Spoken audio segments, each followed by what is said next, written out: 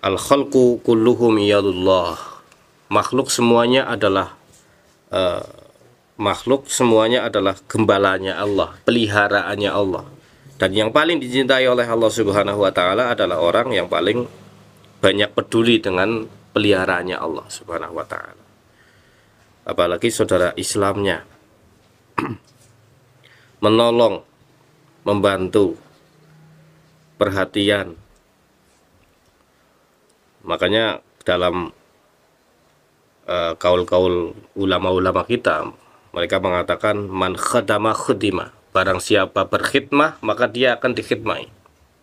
Barang siapa dia berkhidmah kepada gurunya kepada orang-orang solih maka dia secara tidak langsung dikhidmai. Kalau misalnya dia tidak dikhidmai di dunia ini oleh sesama makhluk manusia maka dia dia akan dikhidmai kelak di akhirat Makanya ketika dipertanyakan di alam kubur ya, sebenarnya kan pertanyaan di alam kubur itu Man robuka siapa Tuhan kalian?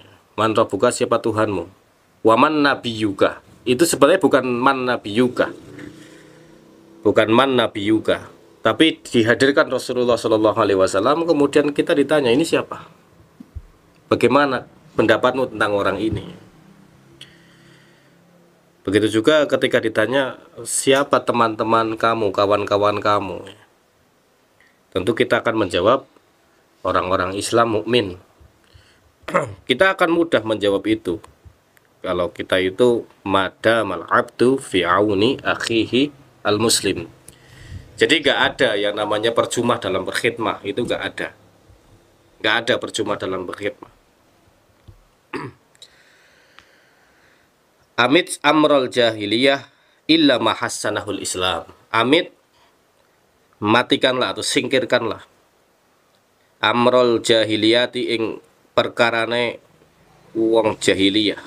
Ilama kejauh perkara hasana kang nganggap bagus hu ing ma sopo opo al islamu Islam. Singkirkan adat-adat jahiliyah kecuali adat-adat yang bagus menurut Islam. Contohnya kayak gini ya, contohnya adat jahiliyah itu sudah berlangsung lama. Contohnya seperti adatnya Nabi Ibrahim dan Nabi Ismail yang diteruskan oleh jahiliyah seperti tawaf, seperti sa'i.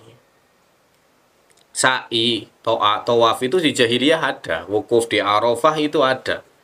Cuma di situ ada perkara-perkara jahiliyahnya. Contohnya, ketika tawaf itu harus menanggalkan bajunya dan memakai baju khusus bagi orang yang mempunyai nasab mulia.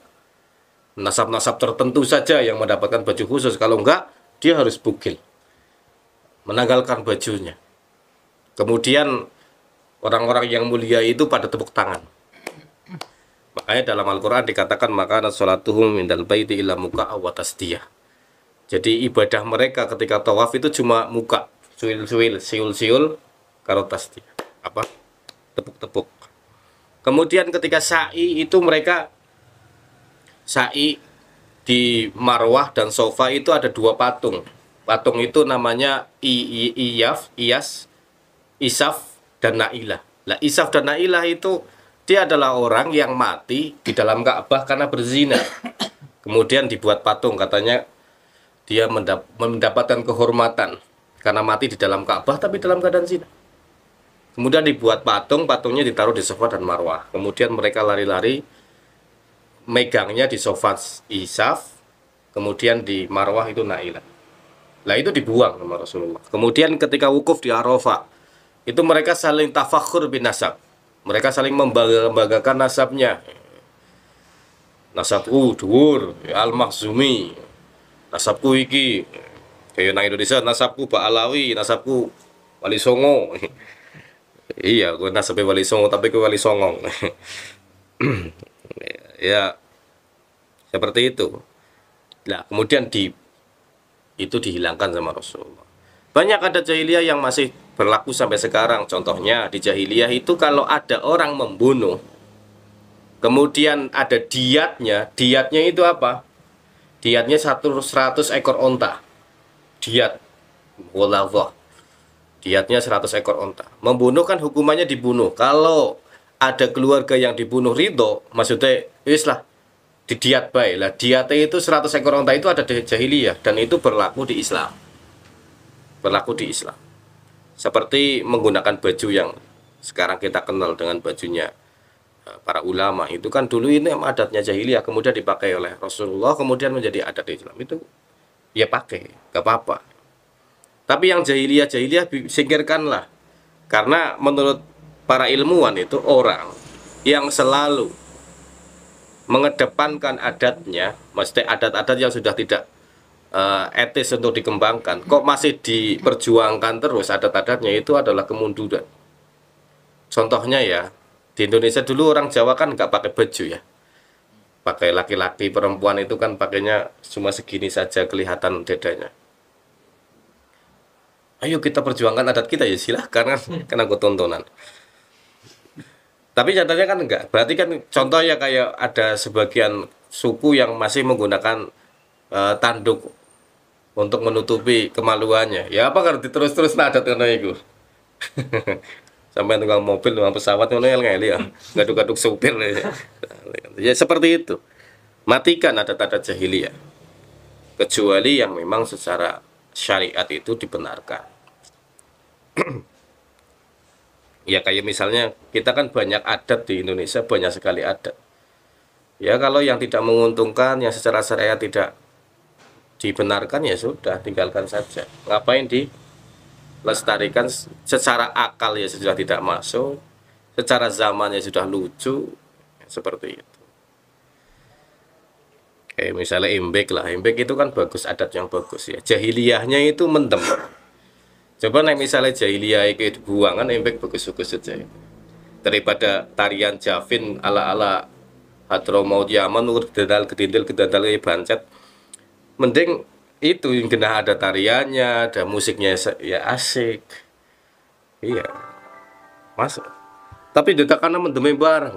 Karena mendemi barang kan gak asik.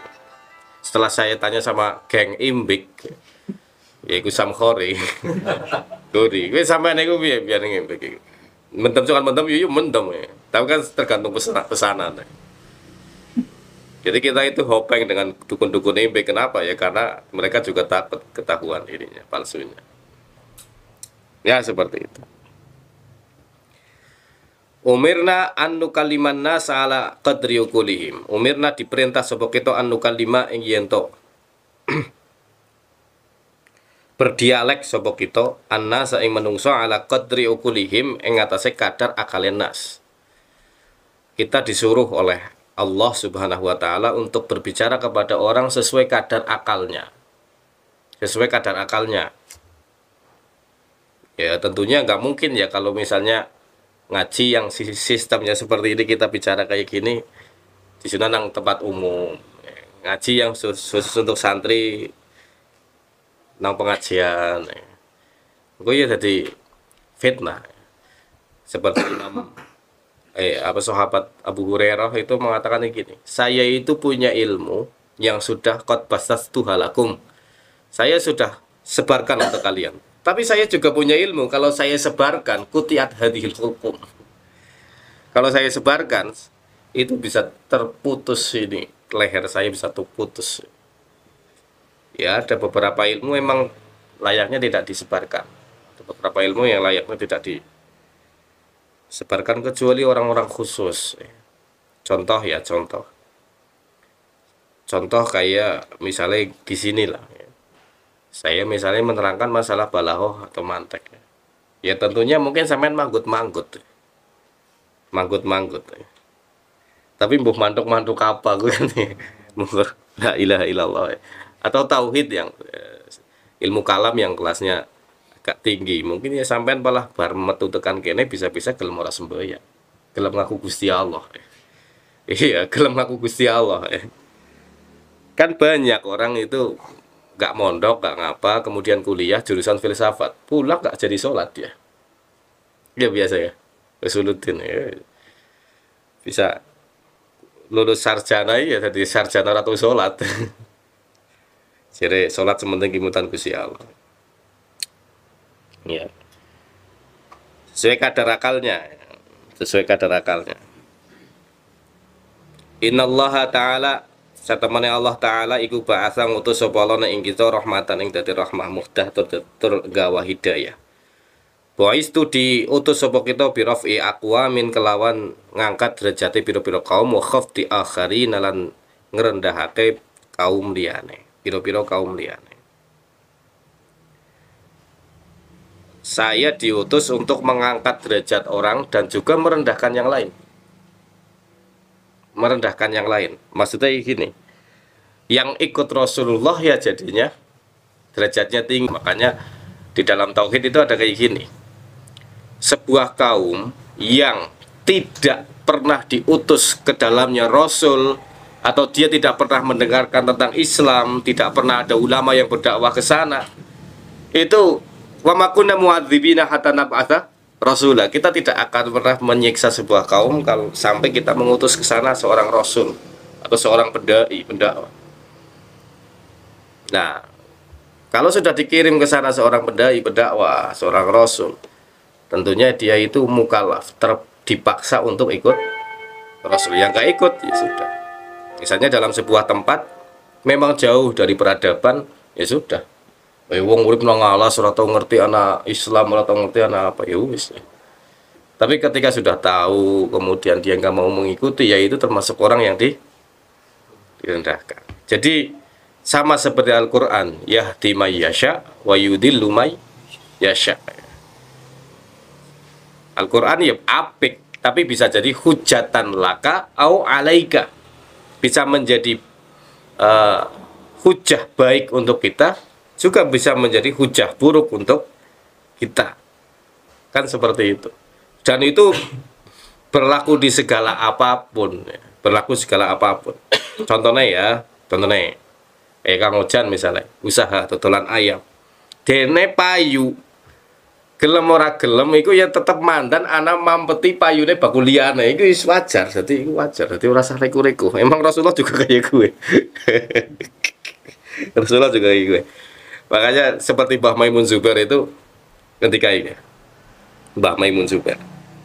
Begitu juga Ki Abah Anwar itu pernah bilang kayak gini sampean iku jadi kiai misalnya jadi kiai pesantren atau sohor sampean iku naik mangkat maring tahlilan atau apa nek bisa keri-kerian. Karena sampean kedatangan sampean akan menggusur kiai tahlil ya sudah. Lah seperti itu. Jadi ya emang emang seperti ini. Emang kaidahnya kan seperti itu. Kaidahnya seperti itu. Bahkan dalam cerita Gus Bahai itu cerita bahwasanya Mbak Maimun Zubair itu pernah Jumatan duduk di depan sendiri. Lah khotibe itu kelimpungan karena di hadapannya ada Mbah Maimun Zubair akhirnya khotibe sowan Mbah. Nah misalnya jenengan mengkat Jumatan itu utang budi bae. Masalah khotibe aku sebagai khotib itu merasa. Lah seperti itu. Ya mungkin itu yang menjadi alasan orang alim itu naik Jumatan untuk carry. Ya naik orang alim ora usah tiru. Cinti tiru Jumatan kali datang. Eh seru katanya. Ya boy itu birafi akmamin wa khafdil akharin. Selanjutnya, innallaha tajawaza iku meng, me, memaklumi sapa Allah li umati maring umat ingsun anin nisyani saing lali, kelalen. Allah mengampuni di umatku lupa. Pernah itu Mas Takin pernah bilang kayak gini Mas Takin. Ora mungkin ana wong kelalen ora salat. Ora mungkin masa anak wong kelalen? Ora sembayang. Sampai dene nglakoni. Terus cerita ternyata benar anak wong kelalen ora sembayang. Kayak mereka apa ya merganin duk gue karena dene ngurusin duk kan ngurusin duk mungkin mumet akhirnya kepikir-pikir ngitung sana ke sini nganti kelalen ora sembayang tuhur tapi biasa. Wah jangan kelalen ora sembayang tapi jumlahnya cek kakean ya. Nek kelalen terus ya jumlah kakean ya ruwet. Kelalen kan pisan pindo nek jumlahnya wis tekan telu papat nanti sepuluh nih atusan itu tuh kelalen ya sama seperti puasa lah. Puasa madang. Madang ya. Dari Wali Jufri itu pernah ditanya. Tapi saya itu lupa makan makan ayam segeruntung terus gini makan gini gini tapi saya lupa ya. Coba ketawa. Kelalen madang puasa kelalen makan nih ayam segeluntung itu kelalen ngeli. Wama ukrihu dan perkorok ukrihu kang den paksa sopo umati alihi ing atas sesuatu yang dipaksakan. Dipaksa. Contoh kayak gini contoh nih. Masalah cerai misalnya ya. Masalah cerai ada seseorang suami ditawan. Kue ceraikan istrimu. Cepat katakan ceraikan istrimu. Kalau kamu gak menjatuhkan talak untuk istrimu kamu saya bunuh. Kemudian dia bilang ya saya ceraikan tiga istriku. Karena dia dipaksa. Jatuh nggak? Nggak jatuh. Nggak jatuh. Sama seperti ketika kita puasa misalnya. Kita puasa dipaksa untuk makan. Kue ora mangan tembak kue ora mangan tembak. Nah itu di antara dua pilihan nih kue mangan ya mukroh dipaksa. Hmm, nek orang mangan ya mempertahankan ya syahid nih yang mempertahankan ya syahid. Sampai milih tiga hari dipaksa kayak makan babi misalnya makan babi orang ngerti babi kelalen atau yang lain. Atau dipaksa. Kue pangan babi kue. Pangan. Orang dipangan paten panganan itu makanan haram yang pada saat itu boleh kamu makan. Nah, ini lumayan.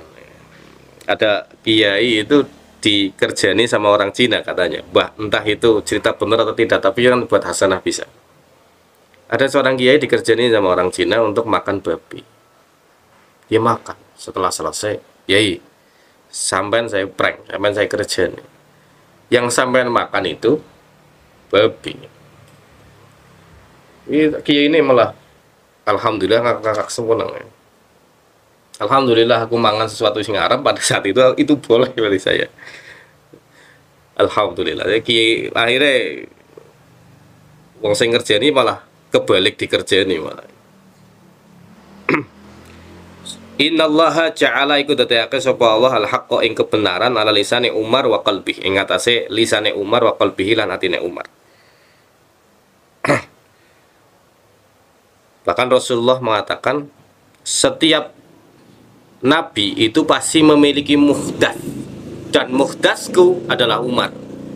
Maksudnya muhdas itu apa? Berbicara sesuai dengan kehendaknya Allah Subhanahu wa taala. Contoh Umar mengatakan, "Ya Rasulullah, Allah tattakhidu min maqami Ibrahim musalla." Ya Rasulullah, buka, jadikanlah makam Ibrahim ini sebagai tempat sholat. Kemudian turun ayat, "Tattakhidu min maqami Ibrahim musalla." Kemudian seperti yang dikatakan oleh Umar mengatakan, "Ya Rasulullah, kita masuk ke dalam rumah engkau, kadang istri engkau ya keluar, kita melihat istri engkau, kecantikan istri engkau dilihat. Kam, saya itu gak terima ya Rasulullah. Kecantikan istrimu itu dilihat oleh banyak orang. Kemudian turun ayat hijab. Makanya uh, istri istri Rasulullah ya roto kesuh karena Umar bin Khattab. roto kesuh. Bahkan ketika Umar lewat saja istri-istri Rasulullah itu langsung pergi. Ketika lagi ngobrol-ngobrol karena Rasulullah guyon, ada suaranya Umar memanggil Abu Bakar. Abu Bakar, Abu Bakar lari. Kemudian Rasulullah mengatakan wailakun tahab namin Umar wala tahab namin Rasulillah. Kamu merasa wibawa dengan Umar tapi gak merasa wibawa dengan Rasulullah. Masalahnya bukan kewedi kewenangan maning kok anak ayat maning turun kan bahaya. Mending minggir. Mending minggir ya anak Umar ya. Mending minggir. Turun ayat hijab itu karena kecemburuannya Umar terhadap isi-isi Rasulullah Shallallahu Alaihi Wasallam Begitu juga ketika ada orang muslim mempunyai masalah dengan orang Yahudi. Masalah sengketa tanah dengan orang Yahudi, tapi karena muslim salah, ya tetap sama Rasulullah itu dianggap ini milik Yahudi. Bilang sama Umar, ya saya sesuai hukumnya Rasulullah. Kalau Rasulullah itu mengatakan itu milik Yahudi, ya milik Yahudi. Kemudian datang ke Umar bin Khattab. Ya Umar, saya telah mengambil uh, hukum kepada Rasulullah dan Abu Bakar tapi nggak menyenangkan, nggak mengenakan. Saya ingin hukum dari engkau. Kata Umar, Kalau kamu kamu sudah mengambil hukum dari Rasulullah dan Abu Bakar, kemudian kamu ridho dengan hukumnya Umar, iya nggak apa-apa ya sudah tunggu sini. Pulang Umar keluar pencelas geledel. Hada hukmu Umar ba'da Rasulillah.